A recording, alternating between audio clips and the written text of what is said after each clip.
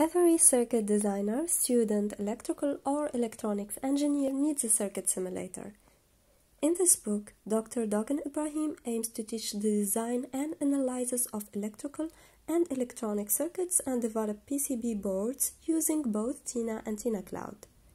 Tina Design Suite is a professional, powerful circuit designer and PCB design software package for analyzing, designing, and real time testing of many electronic circuits and their PCB layout.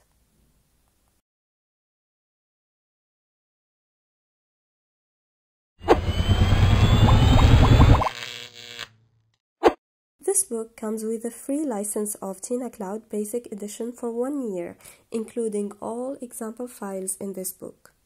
Your personal license code will be automatically sent to you in a separate email immediately after a successful payment. You only need to visit Elektor's registration page and enter your details.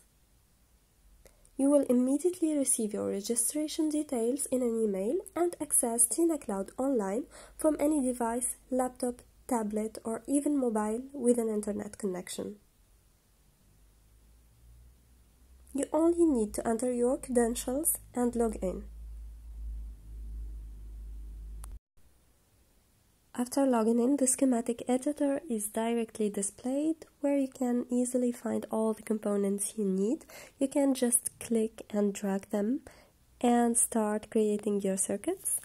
And by double clicking on each component, you can change its parameters. Chapter 4 from this book, named Getting Started Simulating Simple Circuits, has all the details you need to draw the circuits and others. This very simple circuit is consisting of four resistors and a DC voltage source. We're gonna use it to show how a DC analysis can be carried out. One of the powerful tools is the interpreter. Here we're gonna use it to calculate the total resistance of our circuits with simple steps we just click on tools and open the interpreter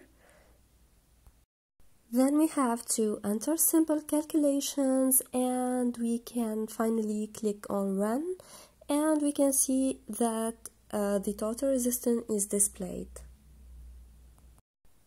You can also use the interpreter to create functions to calculate the resistance, especially with complex circuits.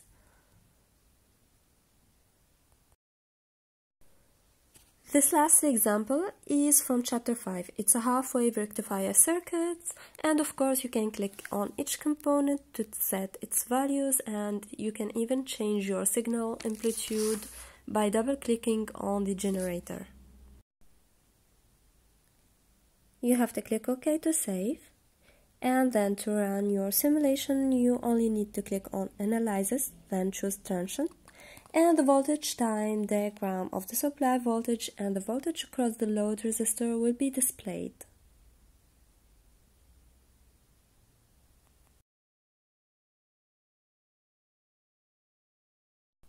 Tina Design Suite is professional, powerful, and affordable. In this book, you can learn a lot. Thumbs up if you liked this video and if you'd like us to make more detailed tutorials about Tina Cloud, please let us know in the comments sections. We would like to hear from you. Thank you for watching.